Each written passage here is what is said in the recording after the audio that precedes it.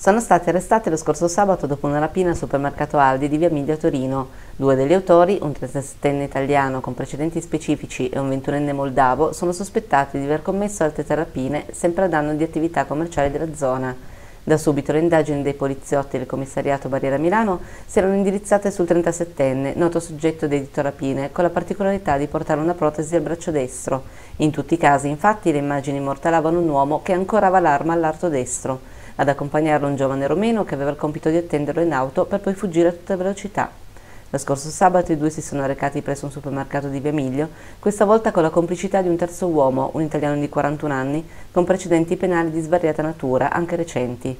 Questi ultimi, entrambi a volto coperto e il 37enne con la pistola incastrata nella protesi, hanno messo a colpo una rapina nell'importo di oltre 600 euro, salendo poi nell'auto del 21enne moldavo per darsi immediatamente la fuga. Il personale dell'ufficio investigativo, già sulle loro tracce, li ha tallonati in auto e intimato loro l'alt.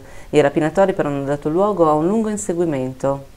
I fuggitivi hanno imboccato diverse crocevia col semaforo rosso pur di sottrarsi dall'arresto, mettendo a rischio la propria e l'altrui incolumità. Arrivata in via Cialdini, angolo Trana, l'autovettura si è fermata per qualche secondo, permettendo ai due complici italiani di scendere. Il più anziano è stato immediatamente raggiunto e fermato dai poliziotti, mentre il 37enne è riuscito a dileguarsi. Quest'ultimo è stato comunque rintracciato in serata, mentre cercava di mettersi in contatto con la fidanzata con ancora la refurtiva in tasca. L'autista del mezzo, il 21enne moldavo, ha abbandonato definitivamente l'autovettura in via Capriolo. Anche lui è stato arrestato poco dopo, mentre si recava presso l'ufficio di polizia per denunciare subdolamente il furto della stessa.